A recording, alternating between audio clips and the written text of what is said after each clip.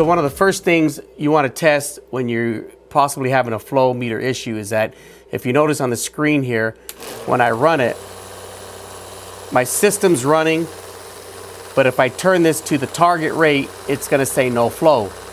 Yet we know the system's running, we got liquid coming out, but this says no flow. So one of the first things obviously we're gonna check is definitely our wire connections for the flow meter itself. So we're gonna follow it all the way down to the flow meter, okay? So I'm gonna come down to my flow meter and if and once I check and I make sure that all my connections are good, everything's connected, everything looks good. I've taken these apart and I've looked inside, nothing's corroded, nothing has debris in there or whatnot. Everything, if all the connections look good, then the next thing I wanna do is make sure that I have 12 volts on the line. So when you look at the harness colors, and if you look in our documentation, we do have the wiring diagrams, but black is ground, of course, pretty common. Red is power, and then the colored wire, anything other than red and black is gonna be your signal.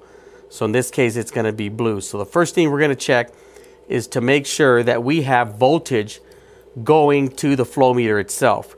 So no matter what kind of system you're connected to, we, we first wanna check voltage. So the first thing we're gonna do is check our black our red. I'm gonna turn my voltmeter on.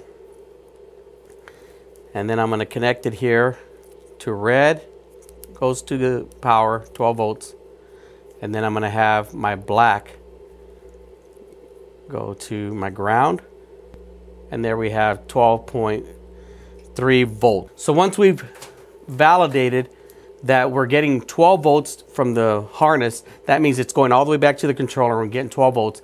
The next thing that we want to check is what we call a tap test. And what we're going to do is we want to tap the ground wire, the black wire, with the blue wire. You can strip a wire and stick the ends in there or get a paper clip or some kind of metal uh, clip here and you're going to stick it in the ground. And what we're going to do is we're going to tap it like this. You don't, if you just keep it there, it won't do anything because you're not creating any kind of connection there. So you want to tap it just like this. So as I tap it, we're gonna have, you're gonna need two people for this, one to tap it and another person in the cab looking at the controller.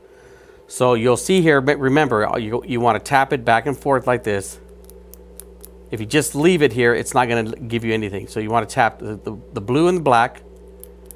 And if we go back to the controller, what I'm gonna do is that you, you wanna set it to volume slash minute. And you see how that's moving? If I stop tapping, it's going to be either gallons per minute or volume per minute. We want to be able to detect this so that when we tap the, gr the ground and the signal, it's going to send it back to the controller and it's going to move. So watch this again. I'm tapping it. If I just hold it in there, nothing happens. So you have to tap it. That's why we call it a tap test. Once you tap it like this, then we know we're getting a signal all the way back. So the next step is once we see that we're getting the signal all the way back, then we definitely know that it's going to be somewhere from here to the flow meter. And if we've already checked all the connections on the flow meter, so if we've taken this apart and all our connections look really good, nothing's damaged, then we know it's probably going to be a bad flow meter. Um, once we've checked that, so let me give you an example here if I were to if I were to disconnect my harness just for the sake of this test, I'm going to disconnect my harness that goes out to my flow meter. And if I go back here to my flow meter and I do my tap test, so I go from my ground and I tap the blue. I'm tapping it, tapping it, tapping it. You see how nothing's happening? If nothing's happening, then we know we got to follow uh, the harness all the way back. Now remember, I disconnected the harness that comes into here, so we know we, we have a, a simulated bad connection. So then in that case, we know for sure that the problem is further back. Now there could be a bad connection, there could be a, a corrosion on the wire, and that's why, that's why the first thing you want to check if you're seeing no flow is you want to make sure that all your connections from your controller, whether it's a Green Star, Trimble, Ag Leader, all the connections all the way back are clean, they're tight, they're not loose, there's no pins, that are pushed in, pins that are pulled out, everything's connected nice and clean.